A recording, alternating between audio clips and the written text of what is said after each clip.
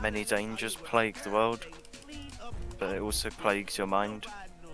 Free your mind, free yourself from the suffering of previous generations, and unlock your true potential. what the fuck?